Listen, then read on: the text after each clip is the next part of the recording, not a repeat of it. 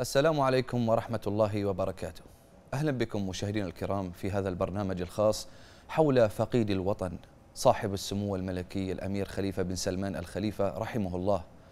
أنعم الله على البحرين بقادة أحبوها وأخلصوا لها العمل فكانوا ثروتها والسر في تألقها ورقيها. فقلما تحظى دولة من الدول بقادة لهم حكمة الربان وشجاعته ونفاذ بصيرته. سارت البحرين ولا زالت تسير على نهج اختطه حضرة صاحب الجلالة الملك حمد بن عيسى الخليفة لبناء دولة حديثة عصرية وضعت الوطن والمواطن ورخاءه وازدهاره نصب عينيها فلم تحد عنه يوما ووضع جلالته أمانة رئاسة الحكومة بيد صاحب السمو الملكي الأمير خليفة بن سلمان الخليفة. فنذر نفسه لشعبه وصان الوديعة وحمى الأمانة ورحل إلى جوار ربه. رحل القائد والقادة يرحلون لتبقى مآثرهم. كان فقيد الوطن الوالد والمربي والقائد الذي تعامل مع أبناء شعبه بلغة الأب الحنون اهتم بالإنسان البحريني وسعى بكل جهد لتوفير التعليم والصحة والمسكن والحياة الكريمة لكل فرد على هذه الأرض الطيبة. اللهم تقبل خليفة ابن سلمان عندك فقد كان فوق كل ذلك رجلا نقي السريرة وطيبا ومتواضعا. إنا لله وإنا إليه راجعون. اللهم أجرنا في مصيبتنا وأخلف لنا خيرا منها. اللهم اغفر لوالدنا وشيخنا عبدك خليفة ابن سلمان. اللهم اغفر له وارحمه. وعافه واعف عنه. وأكرم نزله ووسع مدخله واغسله بماء وثلج وبرد ونقه من الخطايا كما ينقى الثوب الأبيض من الدنس. اللهم أبدله دارا خيرا من داره وأهلا خيرا من أهله وزوجا خيرا من زوجه وقه فتنة القبر وعذاب القبر. برحمتك يا أرحم الراحمين. اللهم إن عبدك خليفة ابن سلمان في ذمتك وحبل جوارك. فقه اللهم من فتنة القبر وعذاب النار. أنت أهل الوفاء والحق. فاغفر له وارحمه إنك أنت الغفور الرحيم. اللهم عامله بما أنت أهله ولا تعامله بما هو أهله. اللهم اجزه عن الإحسان إحسانا وعن الإساءة عفوا وغفرانا. اللهم يا ذا الجلال والإكرام أنزله منزلا مباركا وأنت خير المنزلين. اللهم أنزله منازل الصديقين والشهداء والصالحين وحسن أولئك رفيقا. اللهم اجعل قبره روضة من رياض الجنة ولا تجعله حفرة من حفر النار. اللهم أفسح له في قبره مد بصره وافرش قبره من فراش الجنة يا ذا الجلال والإكرام. اللهم أعذه من عذاب القبر وجفاف الأرض عن جنبيها. اللهم املأ قبره بالرضا والنور والفسحة والسرور. برحمتك يا أرحم الراحمين. اللهم إنه عبدك وابن عبدك. خرج من الدنيا وسعتها ومحبوبها وأحباءه فيها.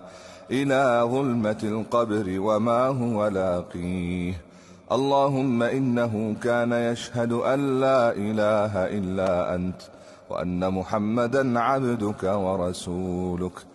وأنت أعلم به. اللهم فإنا نتوسل بك إليك ونقسم بك عليك أن ترحمه ولا تعذبه وأن تثبته عند السؤال. اللهم إنه نزل بك وأنت خير منزول به وأصبح فقيرا إلى رحمتك وأنت غني عن عذابه. اللهم آته برحمتك ورضاك وقه فتنة القبر وعذابه وآته برحمتك الأمن من عذابك حتى تبعثه إلى جناتك يا أرحم الراحمين. اللهم احمه تحت الأرض واستره يوم العرض ولا تخزه يوم يبعثون. يوم لا ينفع مال ولا بنون إلا من أتى الله بقلب سليم. اللهم يمن كتابه ويسر حسابه وثقل بالحسنات ميزانه وثبت على الصراط أقدامه وأسكنه في أعلى الجنات بجوار حبيبك ومصطفاك صلى الله عليه وسلم. اللهم اجعله في بطن القبر مطمئنا وعند قيام الأشهاد آمنا وبجود رضوانك واثقا وإلى أعلى درجاتك سابقا اللهم اجعل عن يمينه نورا حتى تبعثه آمنا مطمئنا في نور من نورك اللهم أسكنه فسيح الجنان واغفر له يا رحمن وارحمه يا رحيم وتجاوز عما تعلم يا عليم. اللهم إنه جاء ببابك وأناخ بجنابك فجد عليه بعفوك وإكرامك وجود إحسانك. اللهم إن رحمتك وسعت كل شيء. فارحمه رحمة تطمئن بها نفسه وتقر بها عينه. اللهم إنه صبر على البلاء فلم يجزع. فامنحه يا ربنا درجة الصابرين الذين يوفون أجورهم بغير حساب. برحمتك يا أرحم الراحمين.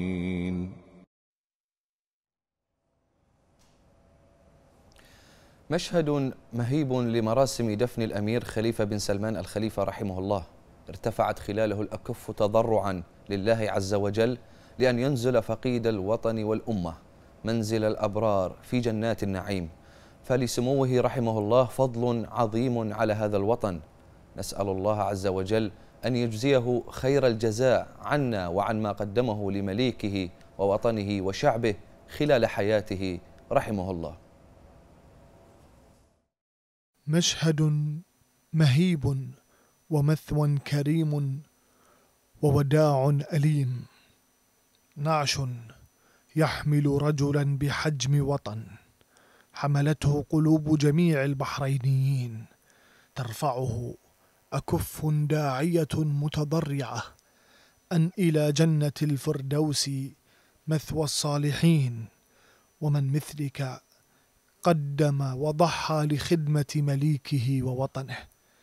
إنها سنة الحياة وقضاء الله وقدره وإنه الحزن العميق والفراق المرير والوداع الأخير. وداعا يا سمو الأمير وداعا بمثقال ما قدمت من عمل ومنحت من حب وأعطيت من وفاء.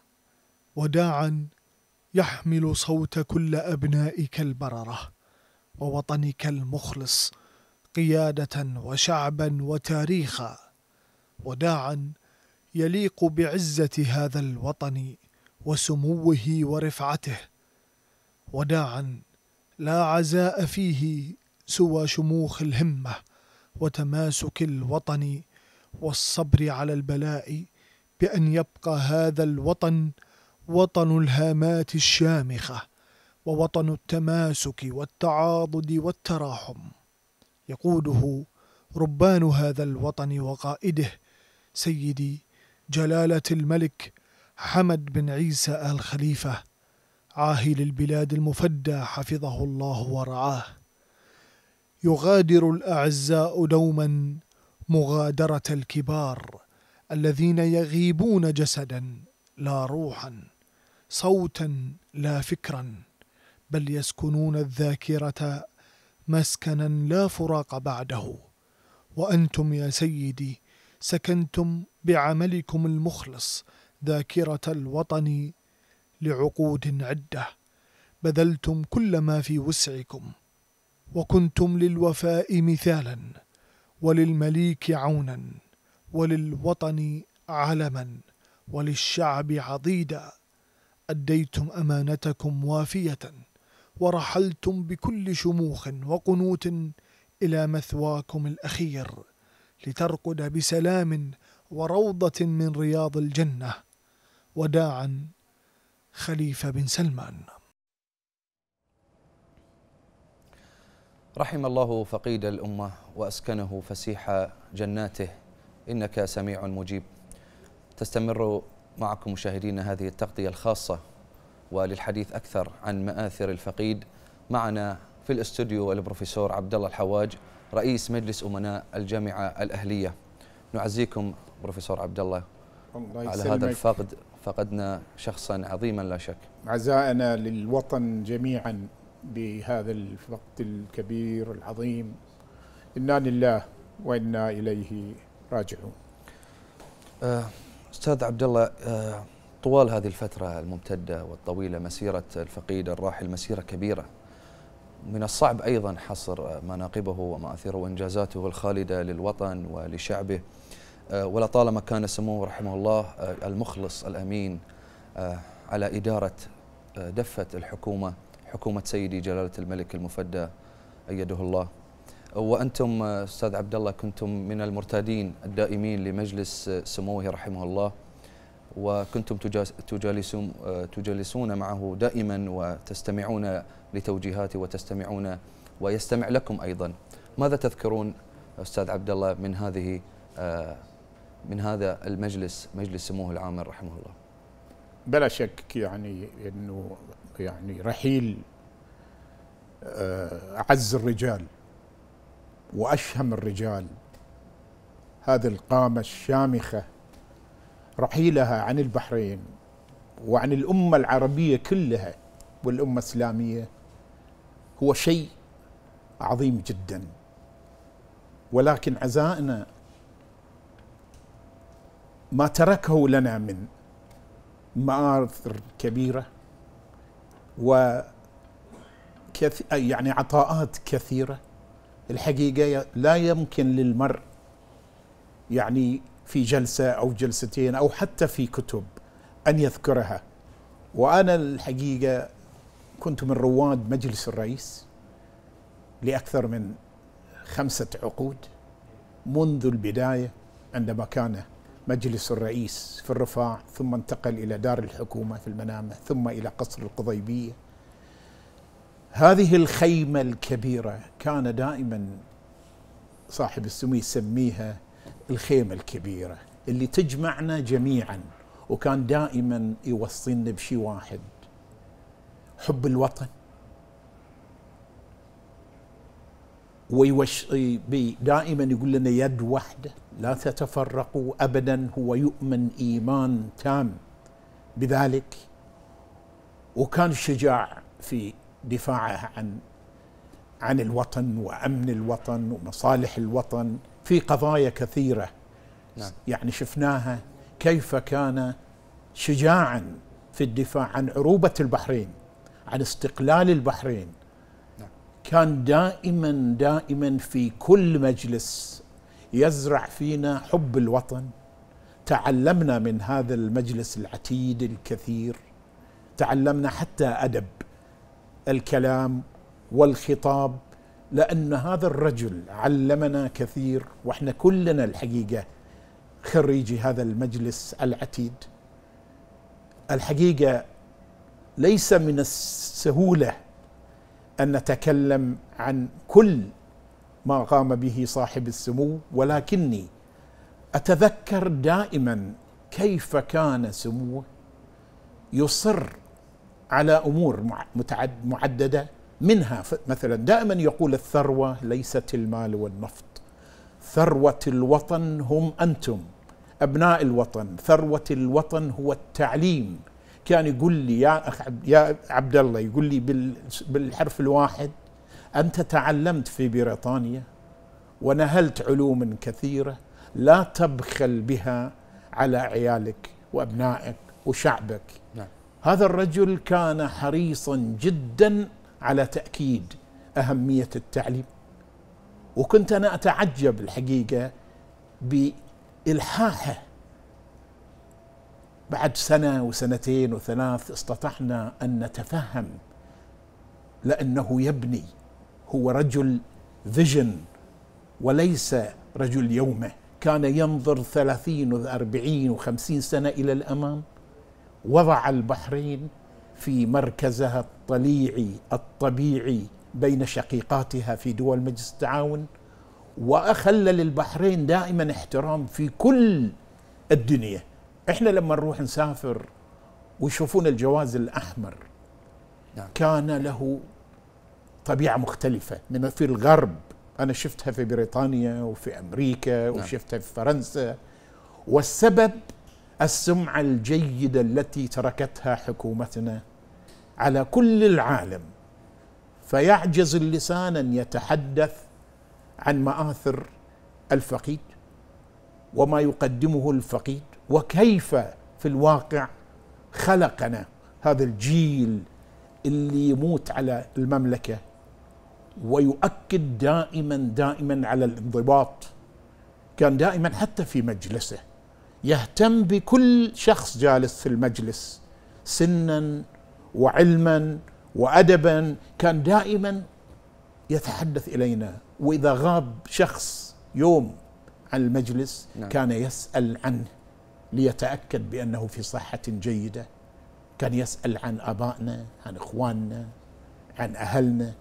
هذا الرجل كان متواصلا مع الناس. ولذلك في الشدائد كلنا قلنا كان لها خليفة. أه لا شك آه، سموه رحمه الله يعني لم يبخل يوما واحدا أه بوقته وبجهده لرفعة ونهضة مملكة البحرين من خلال رئاسته للحكومة الموقرة. ونذكر أيضا آه، زياراته المتعددة والكثيرة حقيقة إلى الساحات وإلى القرى وإلى المدن البحرين لتلمس احتياجات المواطنين. وكان دائما آه، يعني ما يأخذ معه آه، الوزراء المختصين لمتابعة احتياجات الأهالي. وهذه صفة من صفات سموه رحمه الله قربة من المواطن وقربة من الشعب. ماذا تذكرون أستاذ عبد الله من هذه الزيارات الميدانية المتعددة لسموه رحمه الله. والله كثيرة. نعم. سعادة خليفة بن سلمان كانت في أن يحل مشكلة فقير. سعادته كان في أن يؤدي خدمة لمحتاج.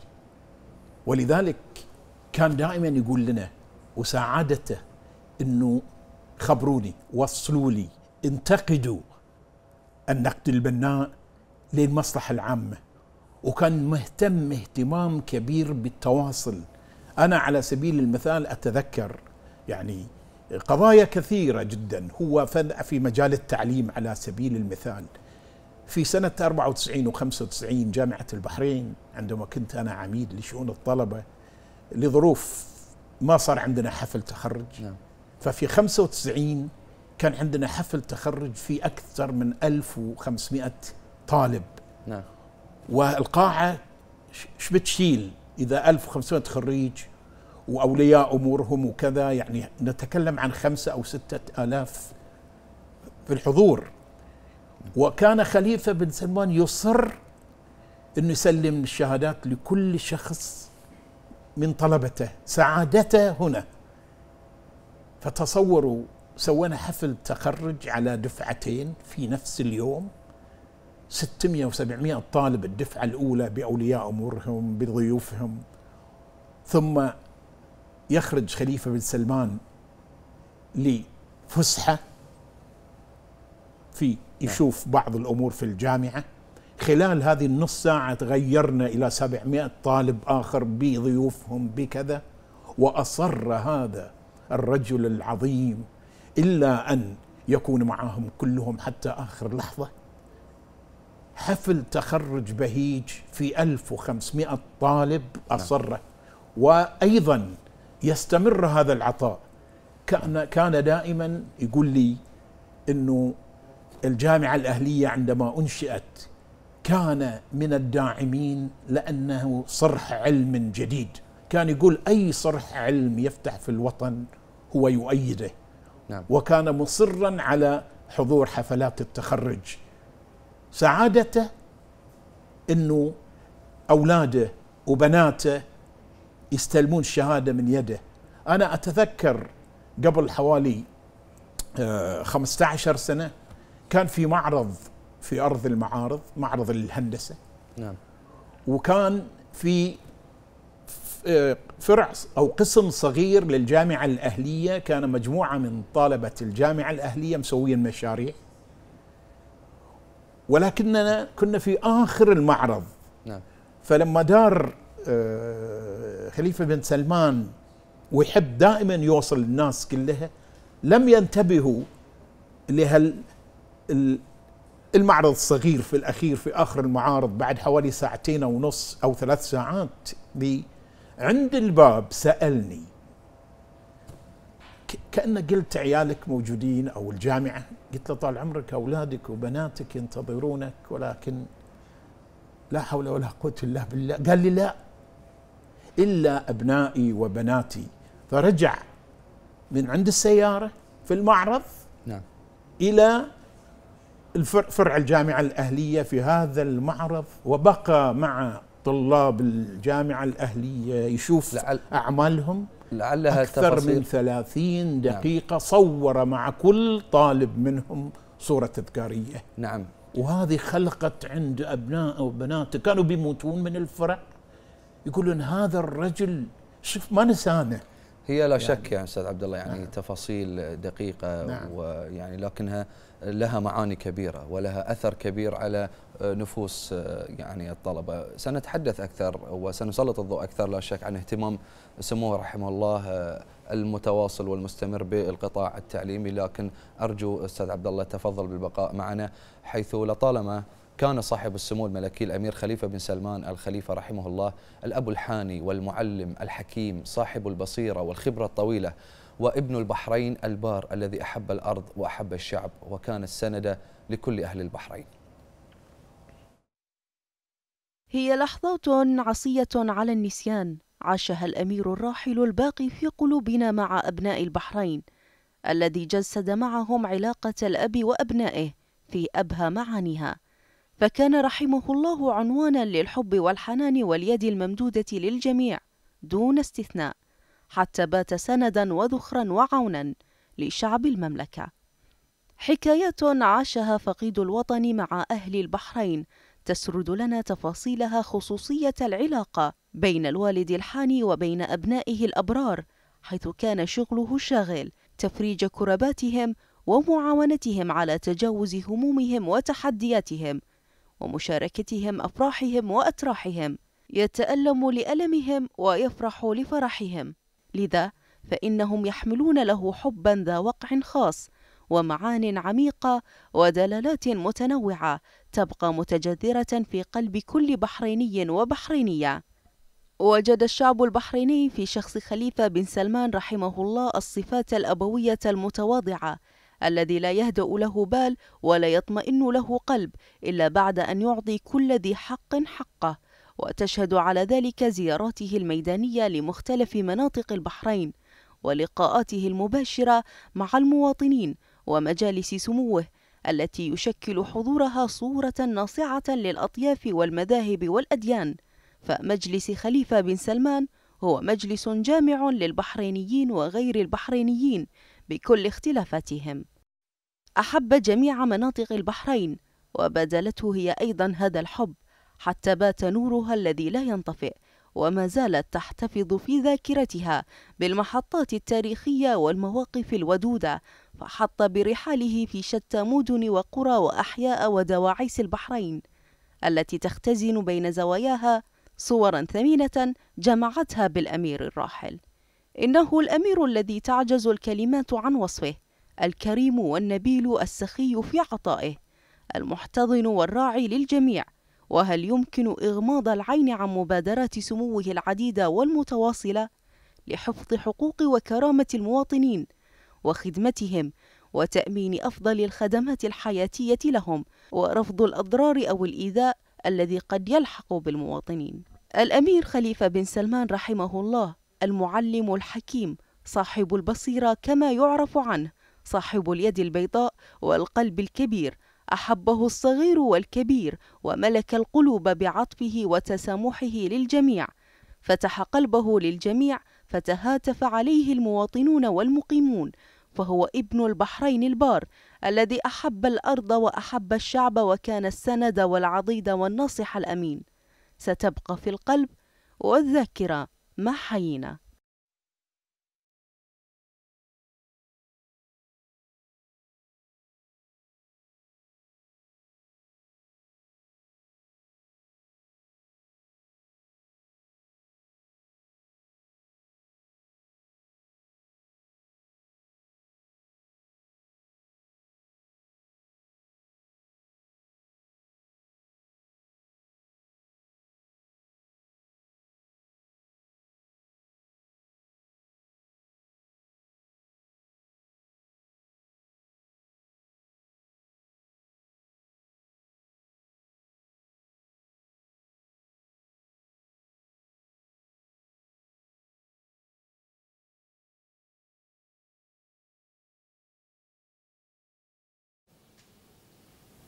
مجيئكم اليوم ما تفضلتوا به سواء عندي اليوم أو في أماكنكم في مجالسكم.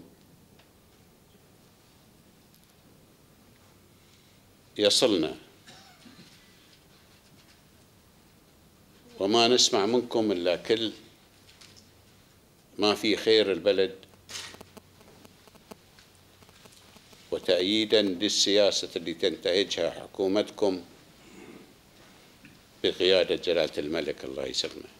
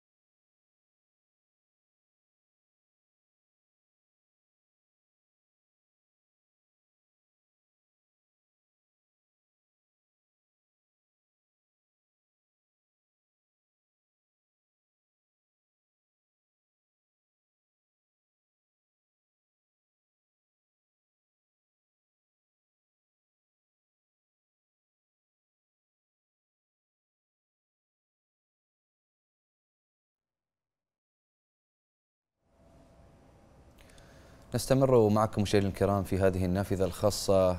نسلط الضوء من خلالها على مناقب ومآثر الفقيد الراحل صاحب السمو الملكي الأمير خليفة بن سلمان الخليفة رحمه الله. عودة لك بروفيسور عبد الله الحواج. آه، كما يعني ذكرت آه، سابقا بأنك كنت من مرتادي مجلس السمو وكنت تحرص أيضا آه، بروفيسور عبد الله من خلال كتاباتكم الصح كتاباتك الصحفية المتواصلة. الحديث عن أبرز ما يدور في هذا المجلس وحدثنا عن أهمية توثيق هذه اللحظات وما أهمية أيضا آه، يعني التواجد المستمر وحرص سموه رحمه الله على تواجدكم بمختلف الطبقات ومختلف الفئات المجتمع من وجهاء من أعيان من كتاب من صحفيين من حتى المواطن البسيط كان يزور مجلسه باستمرار. بلا شك يعني مجلس الرئيس كان من المآثر العظيمة. نعم. وأنا كتبت الحقيقة أكثر من عمود. منذ أكثر من 25 سنة أنا بديت من بداية التسعينات أكتب عن هذا المجلس لما شاهدته وتعلمت فيه من هذا المجلس. وأتذكر محطات مهمة كثيرة. يعلق عليها صاحب السمو. وكان دائما يشجعني. كان دائما يقول لي مشكور أنت أحيانا تكتب ما في قلبنا يمكن بسبب الوضع رجل الدولة ساعات ما يستطيع أن يقول الصراحة في كل شيء ولكن ساعات ينبئ بها أو لاسباب بروتوكولية. نحن كنا نترجم ذلك في كتاباتنا. وكان هو دائما يشجعنا يقول لأنه الحقيقة أنتم تفتحون الباب. وكان دائما دائما يحضنا على خذوا يعني خذوا الشجاعة في المبادرة. كتبوا وعونا. هذا الرجل الحقيقة وهذا المجلس أنا أقول يعني يذكرنا في التاريخ لما كتبنا بمجالس الرشيد والمأمون. كيف كان في العصور الذهبية هذه المجالس مفتوحة؟ يأتيها العلماء والخطباء والتجار ورجال الأعمال. مجلس خليفة بن سلمان كان نموذجا لهذا وكان يرى في هذا المجلس سعادته. نعم. كان دائما يقول في هذا المجلس أن هذا المجلس هو المطبخ الحقيقي لما يدور. يعني كان دائما سعيد جدا إنه يسمع ثقة متبادلة. متبادلة. متواجدين. و و وما في حدود. هناك يعني يعني أيضا يحرص سموه على الاستماع من كل شخص موجود في آه، هذا المجلس آه، سواء من هموم أو من مطالب أو من حتى يعني آه، رؤى قد يعني تؤخذ بعين سعادته في حل أي مشكلة. نعم. شفنا إحنا مشاكل عندما إحدى المدارس في في في في في إحدى القرى يعني قالوا بيهدمونها والأهالي المنطقة آه، زعلوا.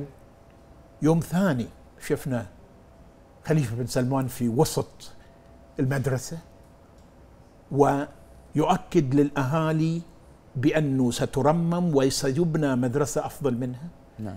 حتى مو بس أهل البحرين قضية العمال الهنود وقضية قضايا كثيرة إنسانية كان يتمنى يعني سعادته في حل مشكلة سعادته في أنه كربة معينة على شخص يشيلها كنا نشعر ذلك إحنا وكنا دائما يعني نفكر كم يحب العمل؟ خليفة بن سلمان كان رجل يحب العمل ويحب أن يخدم الناس ويخدم وطنه وهذا اللي قربنا إليه.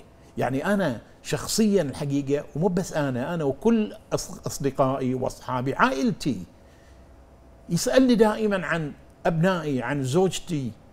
في السابق يسألني دائما عن أبوي الله يرحمه دائما يقول لي أخوي الكبير دائما يسألني كيف صحته. إذا تأخرنا عن المجلس أسبوع أو أسبوعين نعم. يسأل دائما. فخليفة بن سلمان رجل تواصل بالدرجة الأولى ورجل مجتمع بالدرجة الأولى وقائد محنك في يعني قائد عربي استثنائي في زمن ما في الاستثناءات. يعني اليوم ما في قيادات بهذه الاستثناءات. خليفة بن سلمان أثبت للعالم كله حتى على مستوى الأمم المتحدة عندما يتحدث عن التنمية المستدامة. يؤكد دائما أنا اليوم اتصل برئيس منظمة التنمية المستدامة في بريطانيا يقول لي أنه يتمنى أن يكتب شيء عن هذا الرجل لأنه قابل خليفة بن سلمان وشعر منه وهذا بريطاني الجنسية ولكن شعر بأن هذا الرجل يجب أن يكون على مستوى العالم وأنتم تشوفون الجوائز التي آه، قدمتها الأمم المتحدة والأمور الأخرى. فخليفة بن سلمان الحقيقة رجل دولة بطراز فريد الحقيقة لأنه أخذ من آبائه ومن أجداده مع فارق الزمن. نعم. كان رحمه الله يعني آه، السند دائما والعون لجلالة الملك المفدى أيده الله آه، في تنفيذ رؤى وتوجيهات آه، جلالته السديدة. يعني هذا ما نذكره يعني من خلال المواقف المشرفة من خلال يعني اتخاذه للقرارات والتي تتسق دائما وتترجم دائما الرؤى والتطلعات لسيدي جلالة الملك المفدى. أيضا آه، نذكر من هذه آه، يعني آه، المواقف دائما كان يحرص سموه أيضا على الاهتمام بالقطاع التعليمي وبالمشهد الثقافي عامة في مملكة البحرين. ماذا تنظرون؟ برأيك كيف كان هذا الاهتمام آه، من قبل سموه بهذا المشهد الثقافي؟ صاحب السمو الحقيقة آه، كان مهتما بكثير وكان دائما يعني الشيء العظيم في هذا الرجل يؤمن إيمان تام بالانضباط والانضباطية. نعم. ولذلك كان بنى نهضة البحرين يدا بيد مع شقيقه المغفور له الشيخ عيسى. نعم. ولما جاء المشروع الإصلاحي لجلالة الملك كان أول المؤيدين لهذا المشروع وكان يقول لنا وحضنا دائما على الانضباط وهذا شيء مهم جدا أنا تعلمت من هذا الرجل الحقيقة وكان دائما حريص على تلبية الحقيقة كل احتياجات في القطاع التعليمي كان مصرا إصرارا كاملا بأن الثروة الحقيقية هي ليست المال وليس النفط وإنما الثروة الحقيقية هي الوطن أبناء الوطن وبناته ولذلك كان يعتبر التعليم والاستثمار في التعليم يعني ضروريا نعم. وليس تكميليا نعم. فكان دائما يقول لنا دائما يقول هذا هو الأسمى استثمار فاستثمروا فيه نعم. ولذلك كان يعلم جيدا ويعي جيدا أهمية الاستثمار نعم. في المواطن البحريني وحتى المقيم في البحرين أيضا كان يعتقد بضرورة نعم. أن ينتفعوا سنبقى يعني نعم. بروفيسور عبد الله آه، عند هذه الفكرة وعند هذه النقطة بالذات اهتمام سموه بالقطاع التعليمي بعد هذا التقرير حيث يجد المتبحر في الجهود التي بذلها صاحب السمو الملكي الأمير خليفة بن سلمان الخليفة رحمه الله. تجاه التربية والتعليم يجد جهودا تاريخية أدت إلى نشر التعليم والقضاء على الأمية. فقد وجد بثاقب بصيرته أن الأمم تبنى بالعلم باعتباره الوسيلة الوحيدة التي عن طريقها تزدهر بقية أوجه الحياة المعرفية، الأمر الذي جعل سموه يعطي التعليم جزءا كبيرا من اهتمامه فكان المعلم والملهم.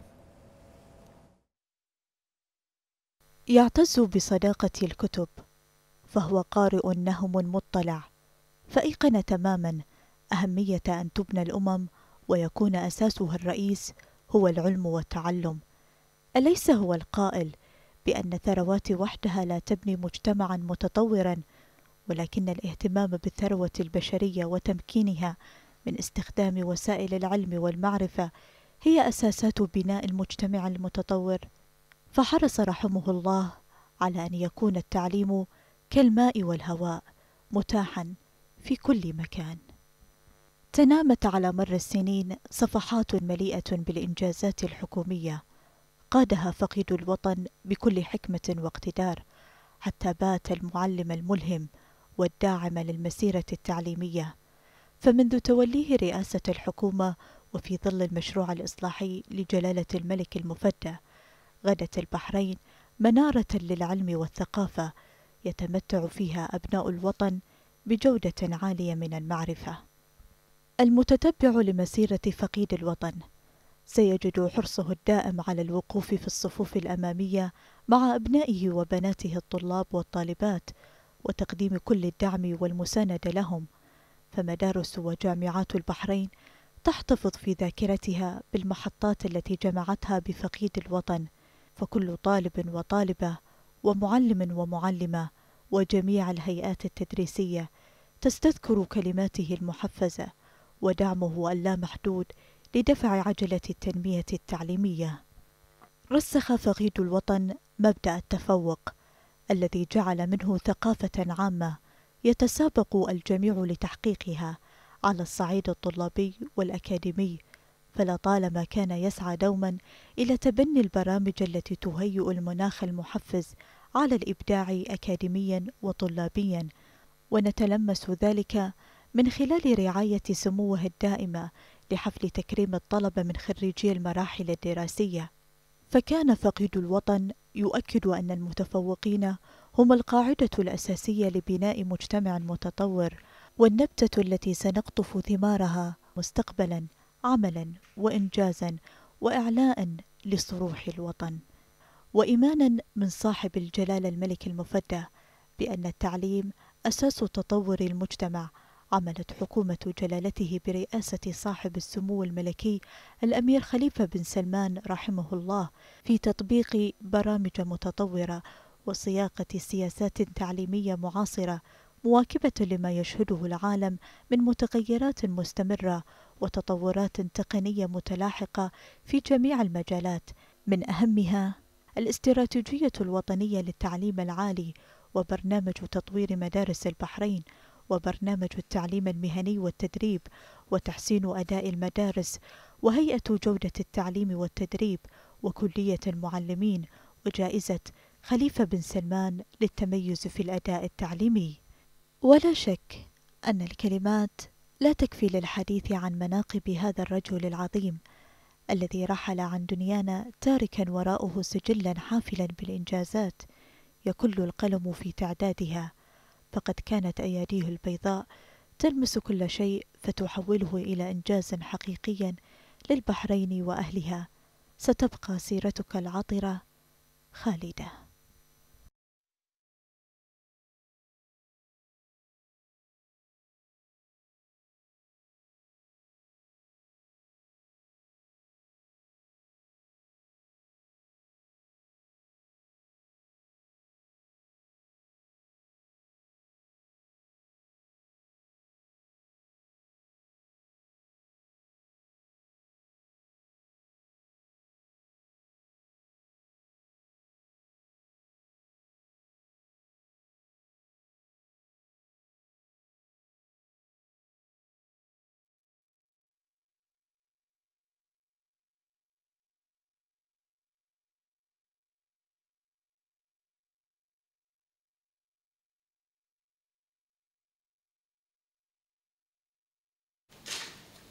أبناء هذا البلد بلدنا الحبيب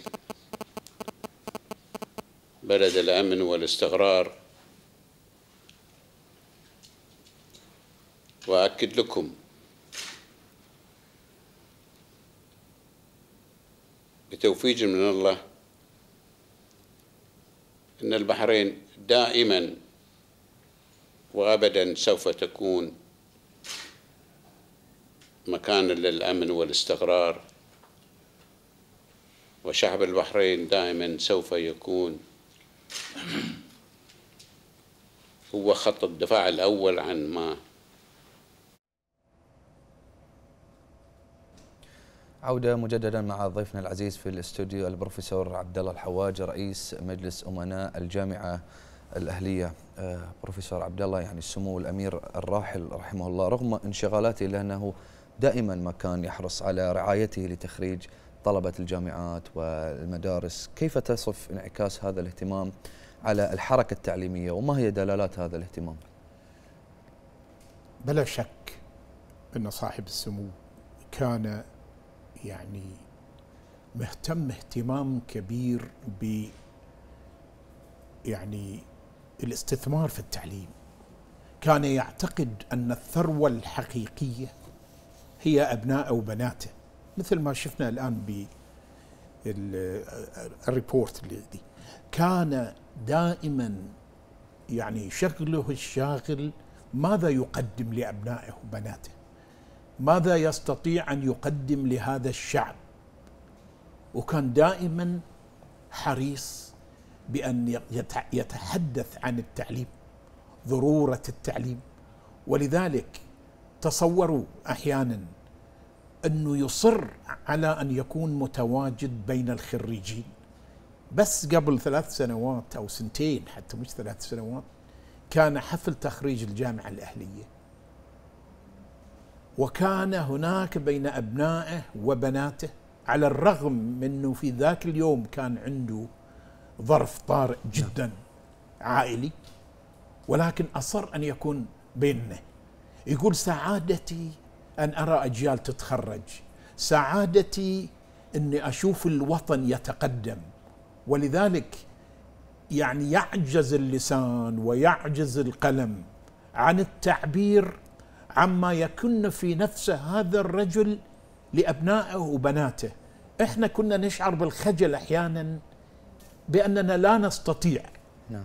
يعني كان يجري وربما إحنا نحاول اللحاق به فكنا نعتقد يعني الرجل يحب العمل إلى درجة لا حدود لها. كان يعتقد بأن الإنسان يجب أن يعمل ويغرس شجرة حتى آخر لحظة في حياته. ولذلك عندما لبى نداء الباري عز وجل كان كان يعمل كان في وظيفته أيضا لحماية هالبلد. هذا هو كان ديدا خليفه بن سلمان. أنا الحقيقة يعني ساعات أشعر يعني وأكلم إخواني وأقول لهم إذا كان ما يقوم به خليفة بن سلمان في هذا السن فليش إحنا ما نسوي أكثر وأكثر؟ ولذلك كان يدفعنا على حب العمل وعلى حب إن ننتج. وخصوصا في التربية والتعليم كان يعتقد بأن الثروة الحقيقية هي الابنائنا وبناتنا وكان سعيد جدا لما يكون يحس إن أحد أبنائنا أحسن منه حتى إحنا ليش نعم. لأنه يشوف يقول أنا أشوفكم في أبنائكم أشوفكم في بناتكم ولذلك لا نستطيع يعني عندما نتحدث عن إسهامات هذا القائد الكبير الفذ في التعليم. لا تقل على الإطلاق عن اسهاماته الأخرى في التنمية والبناء. ولذلك تصير كلها جنبا بجنب. كان يؤمن إيمان تام بأن الوطن يجب أن يتقدم ويتطور. ولذلك كان يحضنا ويقول لنا دائما وأنا دائما أسمع منه كلمة ما يصير تطور وبناء إلا بأمن وأمان نعم. واستقرار. ولذلك كان عنده الأمن والأمان والاستقرار هو أهم شيء. كله يقول دائما تصوروا كانت بيوتنا وبيباننا في كل في المحرق وفي الرفاع وفي المنامة مفتوحة ما كنا نقفل الأبواب. أمن وأمان وكان يتمنى أن يستمر الأمن والأمان رغم كل التطورات والتكنولوجيا إلا أن هذا الرجل هذا هو شعوره. وإحنا نعم. شعرنا وحسينا بهالرجل ولذلك عندما نقول إحنا إننا نحب هذا القائد نعم. فالحب يأتي مبادلة لما شعرنا. هذه المشاعر الصادقة منك بروفيسور نعم. عبد الله نتلمس منها فعلا حس القائد المسؤول وصانع القرار والأب كذلك الحاني على أبنائه أبناء شعبه. أه، سنستكمل معك بروفيسور عبد الله أه، لا شك أن يعني ذاكرتك مليئة بهذه المواقف أه، التي شهدتها مع سموه رحمه الله حيث يعتبر الأمير خليفة بن سلمان الخليفة رحمه الله من أكثر الأمراء توقيرا وحيازة للحب والاحترام والذي لطالما كان شعاعا في سماء الوطن يضيء طريق الشعب نحو الأمان. التقرير التالي مشاهدينا يستعرض بعض المحطات المشرقة في تاريخ الوطن والتي ساهم الأمير الراحل في صنعها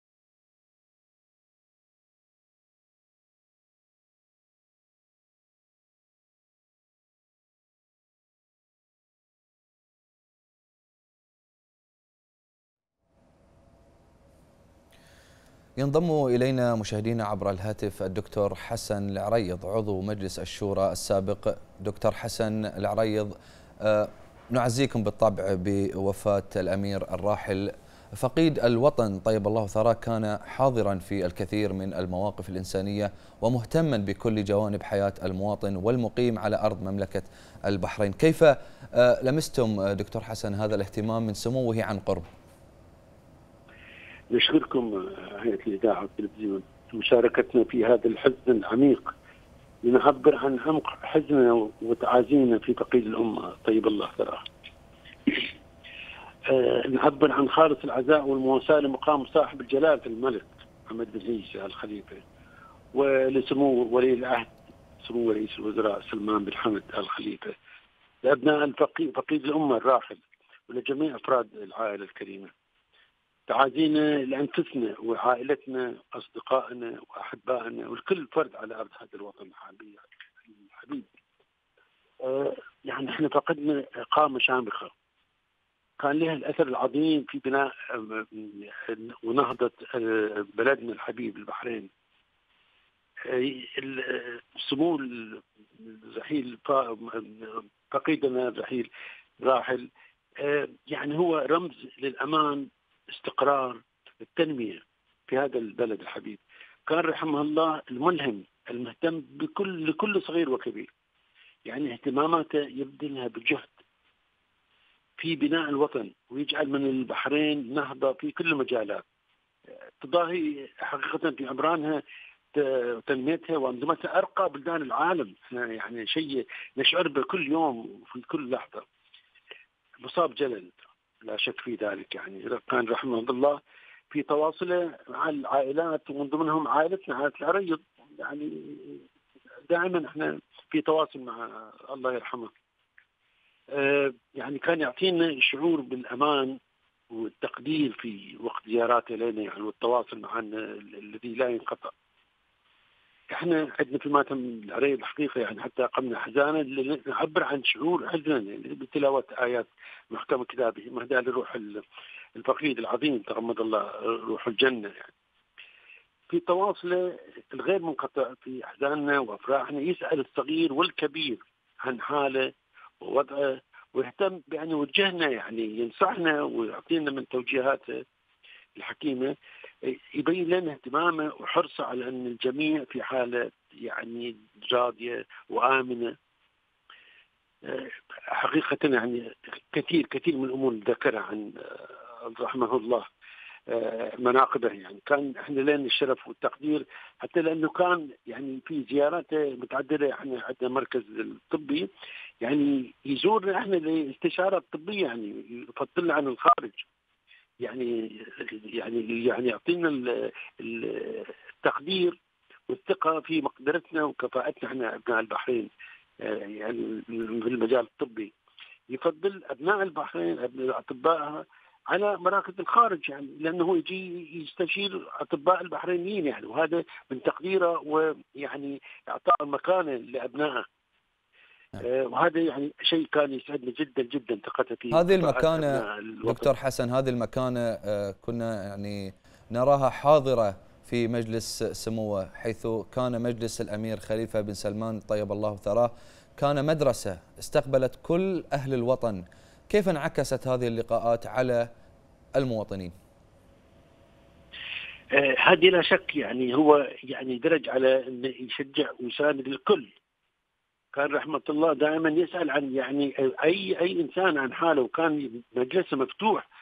في أي وقت تروح يعني المجالس مفتوحة وإحنا نعرف آه، حقيقة من السبعينات والثمانينات والتسعينات واخذنا إلى هالوقت هذا. دائما المجلس المفتوح هذا يعطيك بأريحية وتشعر إن هناك في أب للجميع.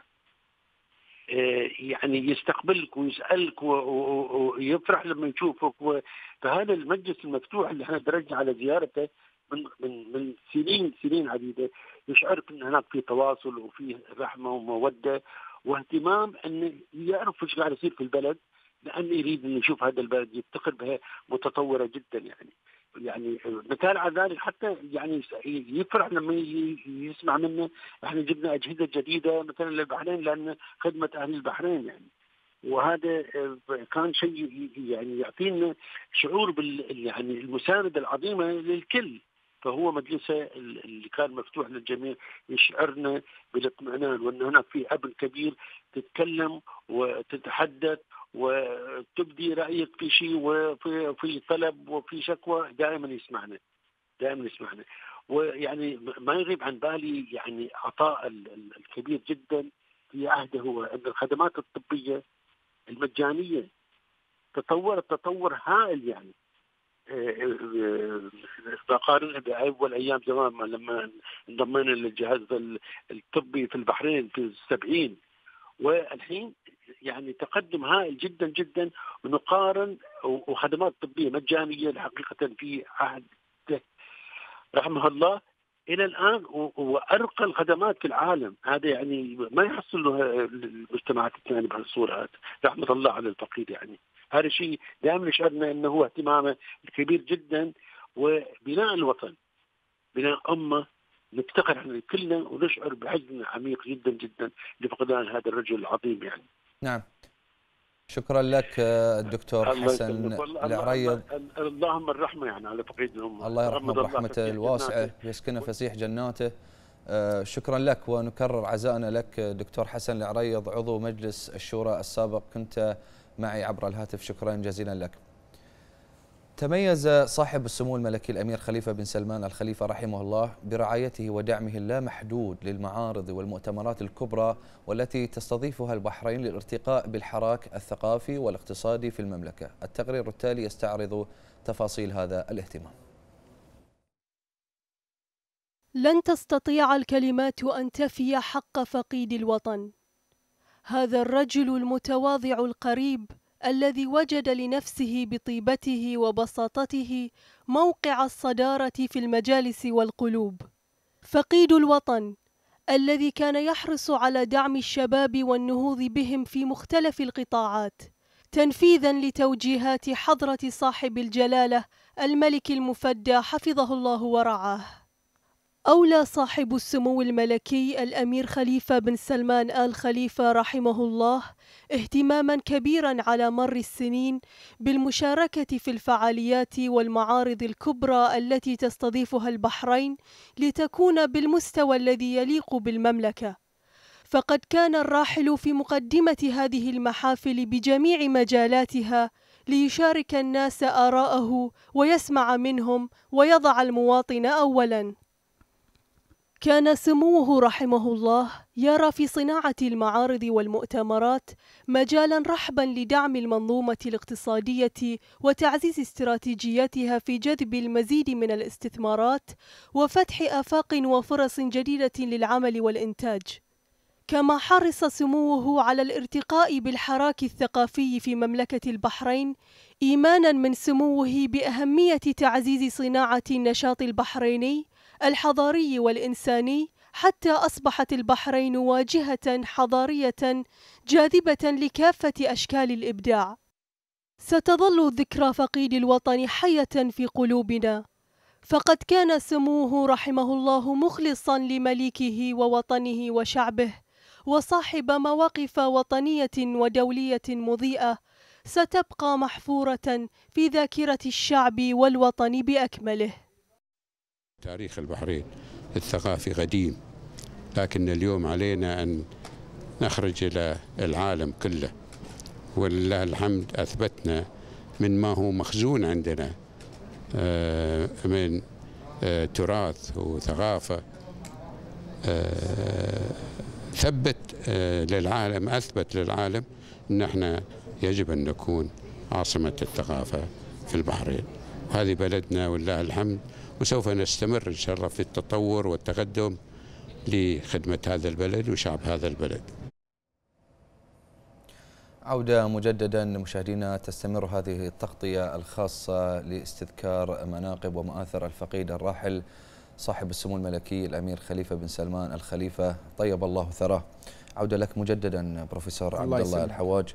إذا شخصية كشخصية الأمير خليفة رحمه الله لا تغفل عن الاهتمام بالجانب آه، الاقتصادي ودعمه وتطويره. كيف ساهمت توجيهات سموه رحمه الله في دعم المسيرة الاقتصادية لمملكة البحرين؟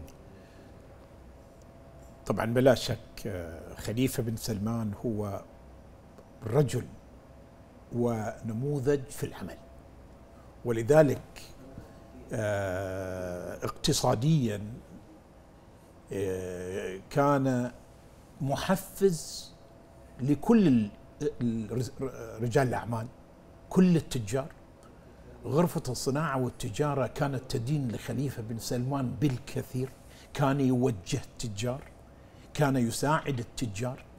أنا الحقيقة أتذكر كيف عندما في في المعارض يزور آه، الأقسام المعينة كان يصر على أن يمر على مجموعة وخصوصا التجار البحرينيين كما شفنا لازم يمر على فرع الحواج نعم. ويسأل عن الإخوان كلهم ويتفقد ويقول لهم التجارة شلون وين واصلة وكيف واصلة غرفة الصناعة والتجارة كلها تدين الحقيقة توجيهات خليفة بن سلمان هو دائما يقول لهم يعني النماء والتنمية وكل شيء في الأخير الاقتصاد هو اللي يسير كل شيء.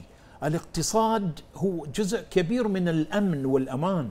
ولذلك عندما أقول أن خليفة بن سلمان يحض على الأمن والأمان هو أيضا مؤمن إيمان تام بأن الاقتصاد هو مدخل إلى ذلك. ولذلك هو دائما يهتم بالتجار ودائما يساعدهم ويقول لهم لا تقف أمامكم حجرة لا يقف أمامكم أي نعم. تعالوا لي قولوا لي كان سعيد جدا إنه يحل قضية تاجر كان نعم. سعيد جدا إنه يوجه طريقة لرجل أعمال متعثر في شيء كان يشعر بسعادة خالصة عندما يقوم بذلك وكان يتمنى أن يسوي أكثر. نعم. أنا الحقيقة سمعت ذلك منه في أكثر من مكان يعني في في رحلة إلى الكويت. هو طبعا مو بس على مستوى البحرين كان يحب الخليج كان يحب يروح الكويت. وفي رحلة إلى الكويت وأنا الحقيقة تشرفت أني أكون في هذه الرحلة جلست بجنبه في الطيارة وكان يقول لي بكل أمانة يقول لي إحنا راح نروح إلى أمير الكويت الآن راح نتحدث عن مشاريع ومشروع الجامعة الأهلية وخصوصا إن أنت قدمني إلى أمير الإنسانية وكنت نعم. حريص جدا إني أتحدث قال ترى دكتور عبد الله خريج من الكويت من عندكم وأنشأ جامعة في البحرين فسألني كم كويتي فقلت لهم إنه مئات الكويتيين تخرجوا من الجامعة الأهلية وقلت لأمير الكويت الله نعم. يرحمه من بينهم من يعمل في ديوانك كما من بينهم من يعمل في ديوان صاحب السمو نعم.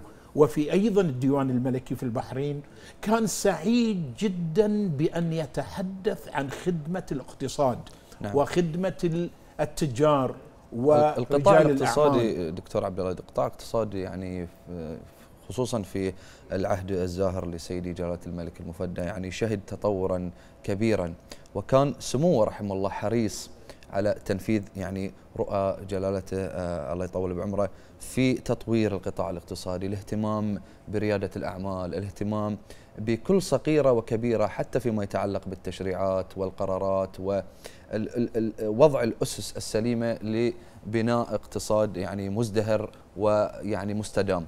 أستكمل معك الحديث آه، يعني دكتور عبد الله لكن بعد هذا هذه المداخلة الهاتفية حيث سنتحدث أكثر عن فقيد الوطن ويسعدنا أن ينضم إلينا عبر الهاتف رئيس جمعية رجال الأعمال البحرينية السيد خالد الزياني. مساء الخير أستاذ خالد. بداية نعظم لكم الأجر بوفاة سمو الأمير آه، خليفة بن سلمان. أنتم كرجال أعمال لكم علاقة وطيدة مع الفقيد الراحل وكان سموه قريب آه، منكم مستمع ومتابع وموجه أيضا. كيف تصفون هذه العلاقة بين سموه رحمه الله وقطاع الأعمال؟ الله يمسيك بالخير. آه، أولا رحمة الله على آه، الشيخ خليفة. كان له أثر كبير على البحرين كلها. وأنا يعني أقول لك صراحة عرفت الشيخ خليفة من أيام الشيخ سلمان. الله يرحمهم. يعني من ذاك الوقت هو خدم البحرين وخدم الوطن. آه يعني الإنسان ما يعرف كثر عمق الدور اللي قام فيه. آه الله يرحمه الشيخ خليفة.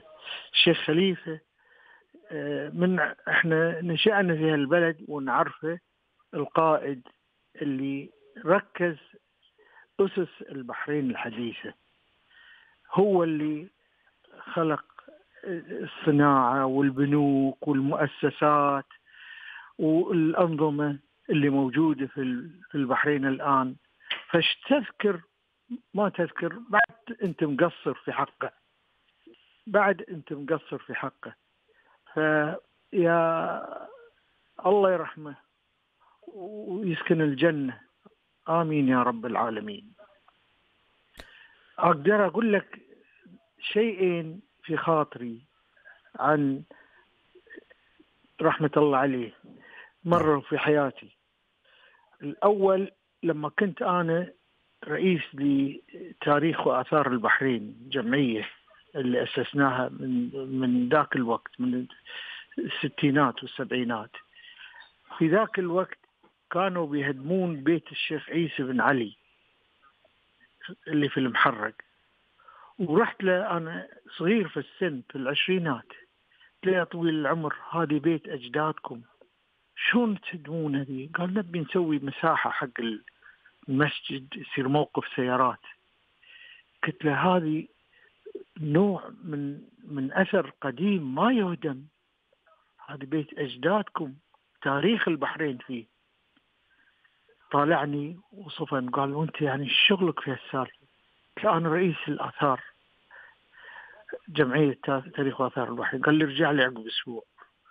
مو بس وقف الهدم أعطانا فرصة نفتح بعض الأشياء اللي كان بيصيد نوع من الهدم. وقال لنا وقال لنا روحوا آه بطلوا الشيء اللي ما اللي تبونه والباقي إحنا بنحافظ عليه. القصر الآن موجود ومكتب للشيخ سلمان ولي العهد الأمير سلمان. ونفس الشيء بيت سيادي اللي في المحرق بل إنه أصدر قانون اللي يحمي المناطق الأثرية من أي نوع من الاستعمال قبل ما توافق عليها هيئة من من الآثار. وحافظنا في البحرين على القديم ويزال ولا يزال موجود عندنا. هذه بالنسبة لي للآثار. نعم. بالنسبة للصناعة اهتمام اهتمام يعني سموه أستاذ خالد يعني كان يطال جميع المجالات دون استثناء من الآثار من التعليم من الثقافة من الفن من الإعلام في جميع المجالات أستاذ خالد. وأنا أشكرك صراحة على هذه المداخلة وعلى هذه آه، يعني القصص اللي ذكرتها عن سموه. أستاذ خالد آه، الزياني رئيس جمعية رجال الأعمال البحرينية. شكرا جزيلا لك. آه، الحقيقة يعني بروفيسور عبد الله يعني يستعصي علينا الأمانة حصر منجزات الراحل فقيد الوطن إلا أننا يعني شارفنا على انتهاء هذه النافذة الخاصة ونود قبل الختام بروفيسور عبد الله أن نستمع منك إلى كلمة أخيرة تقولها في سموه رحمه الله. طبعا لا أستطيع إلا أن أقول أول شيء يعني لجلالة الملك. حفظه الله ورعاه. أقول له عظم الله أجركم عظم الله أجرك يا وطن ولصاحب السمو آه، ولي العهد آه، نائب القائد العلى رئيس الوزراء.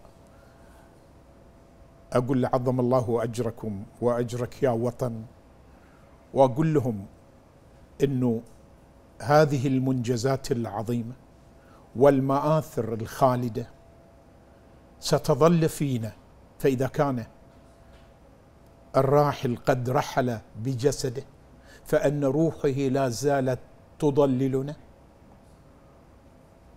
وانجازاته الحقيقة ومآثره هي فينا ونعاهد قيادتنا جلالة الملك وصاحب السمو ولي العهد. رئيس الوزراء أننا سنسير إن شاء الله على خطى خليفة بن سلمان على خطى الراحل العظيم. ونقول لهم إنه البحرين دائما بخير. وحبيبنا قد لبى نداء الخالق وهو في أياد.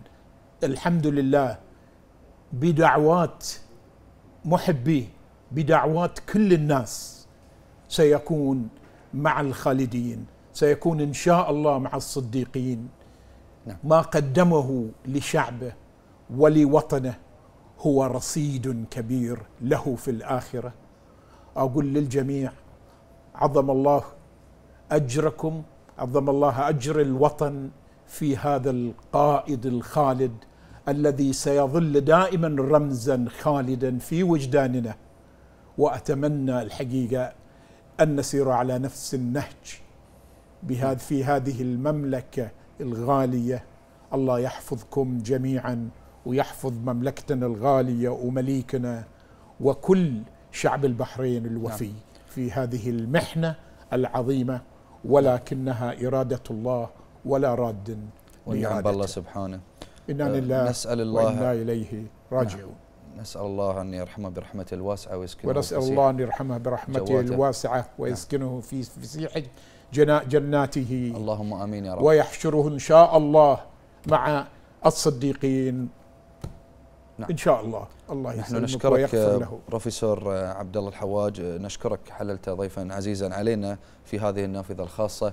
شكرا على حضورك. البروفيسور عبد الله الحواج رئيس مجلس أمناء الجامعة الأهلية. شكرا على ما تفضلت به. الله شكرا يسلم. على تواجدك معنا. الله يسلمكم.